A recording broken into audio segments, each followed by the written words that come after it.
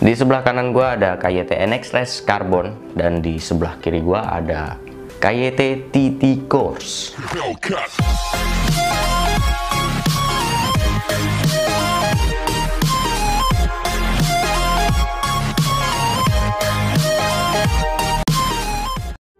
Assalamualaikum warahmatullahi wabarakatuh. Balik lagi di Aljuna Channel. Masih bersama gua Alfian Dwi Arjuna.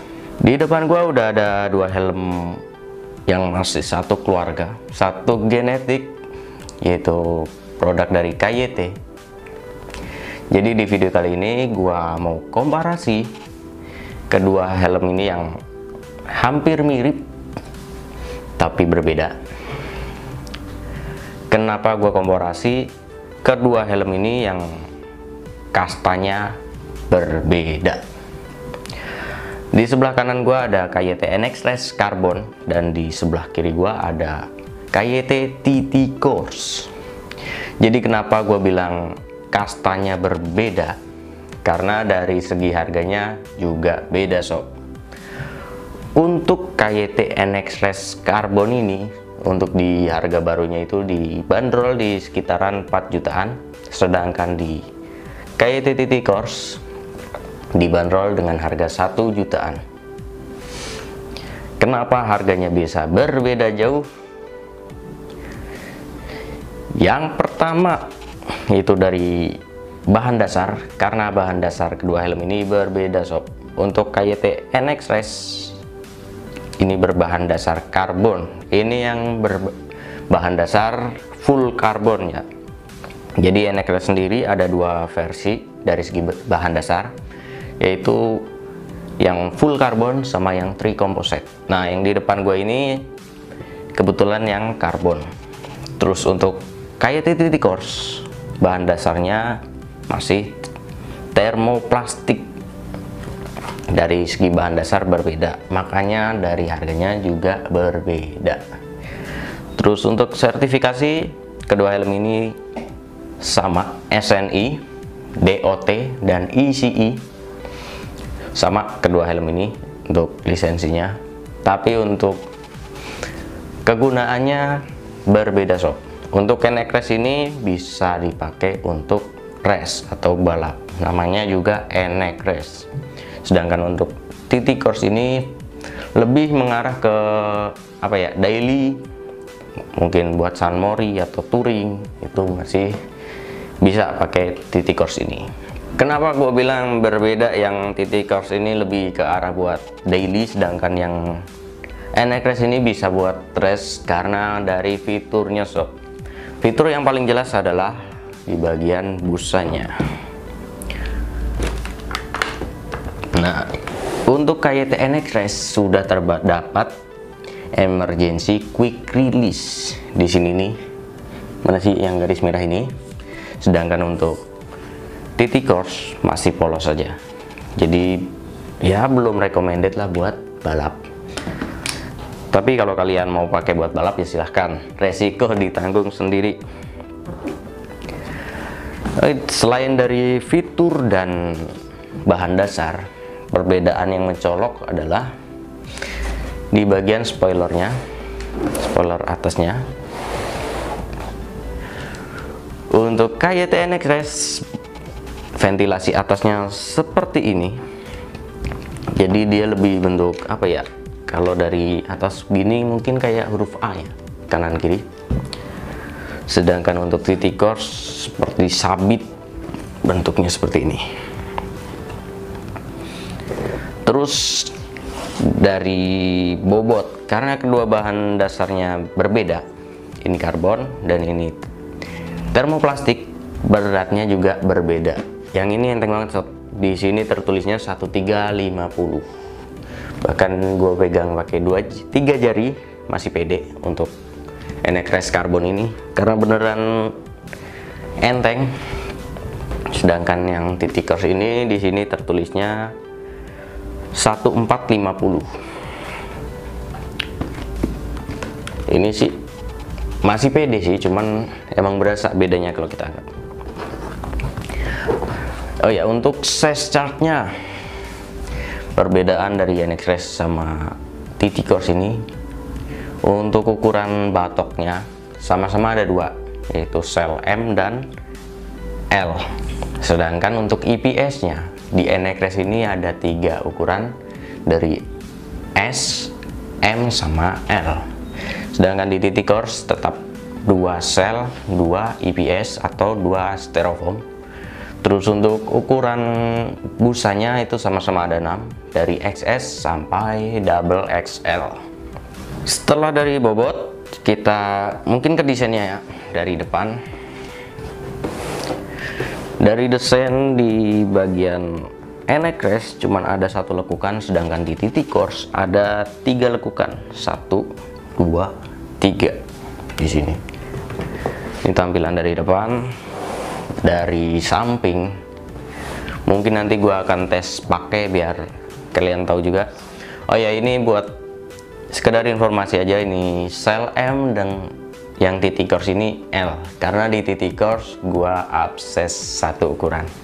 Sedangkan di NXRS gua tetap pakai yang M. Lanjut ke tampilan belakangnya.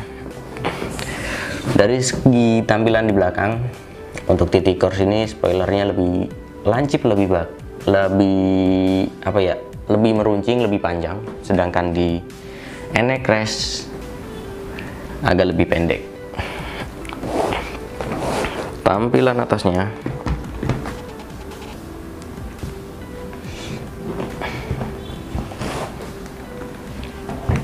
Ini untuk tampilan atasnya seperti ini untuk ukuran sih emang titik course ini sebenarnya mungil dia ya. Karena nih di kalau gua lihat secara langsung dari size M ke L beda ukuran batok. Ini batok kecil ini batok yang besar. Tapi dilihat sekilas ukurannya sama. Kalau yang size M memang mungil banget sih kecil. Setelah dari tampilan luar kita pindah ke dalam oh ya untuk mekanisme visornya di NX ini handle-nya ada di sebelah kiri sedangkan di titik course ada di sebelah depan di sisi depan. Kita move ke bagian busa jadi di video ini gua nggak ada maksud untuk melebih-lebihkan suatu produk atau mengurangi menjelek-jelekkan produk lain. Gue cuman mau memberikan informasi aja dengan budget 4 jutaan apa yang kalian dapat dan budget 1 jutaan apa aja yang kalian dapat. Tadi pertama bahan dasar. Bahan dasarnya beda. Yang kedua bobotnya. Yang ketiga fungsinya. Kalian bisa balap dengan NX Race ini sob. Terus selanjutnya dari busa. Mungkin gue lepas saja busanya supaya kalian bisa melihat secara langsung perbedaannya kualitas busanya.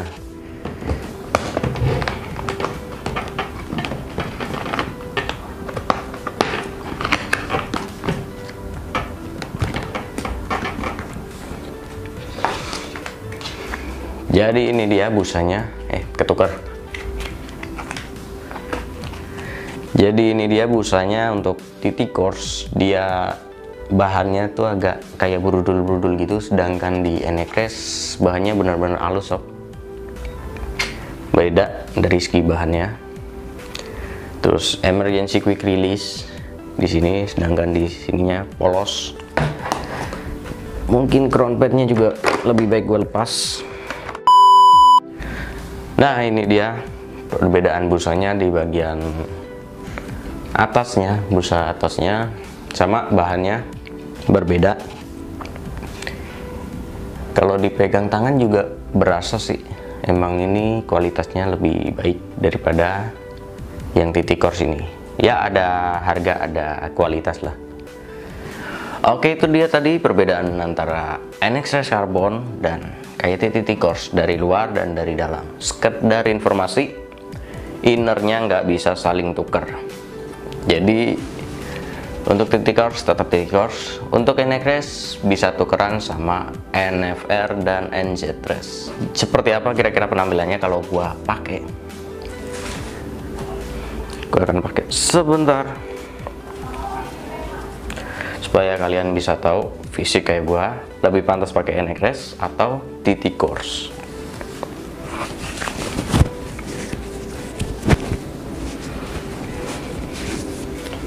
pertama yang mau gue pakai kayaknya TT Course dulu deh. Biar lebih berasa biar ngerasain enaknya dulu di sini. Karena kalau gue pakai ini dulu takutnya nggak berasa nggak enaknya di sini sob.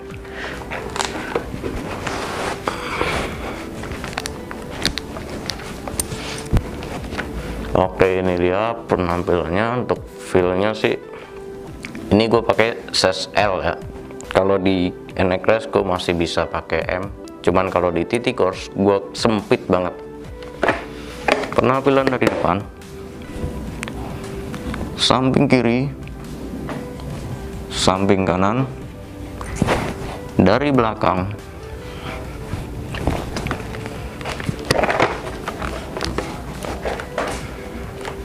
Untuk feel busa mungkin nanti gua gua ceritain setelah gua pakai keduanya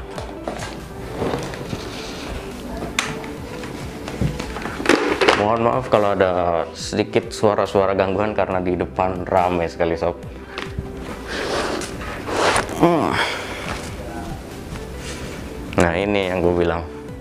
Kenapa gue pakai ini dulu baru yang NXRS karena pas dipakai emang untuk bobot ini jauh lebih ringan. Walaupun perbedaan menurut data cuman beda 100 gram tapi kalau dipakai feelnya beda bener-bener enteng bener-bener ngeplak di kepala. Jadi di NXS ini gue pakai chest M masih nyaman. Tapi kalau di TT course gue pakai M sempit banget. Gue pakai L agak sedikit longgar. Jadi ini tampilannya dari depan.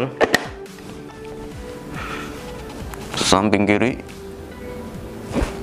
Samping kanan dari belakang.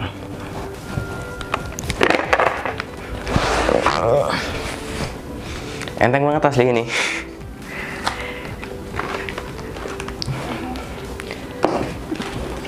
Jadi menurut kalian mana yang lebih cocok? Mana yang lebih keren lah ibaratnya? Itu kembali ke kalian masing-masing untuk pilihan. Yang jelas dengan budget 4 juta kalian dapat apa aja tadi yang gue ceritain dan di budget satu jutaan kalian juga udah dapat. Seperti apa? Mungkin sekian aja dari gue kurang lebihnya gue mohon maaf. Sampai jumpa di video selanjutnya. Wassalamualaikum warahmatullahi wabarakatuh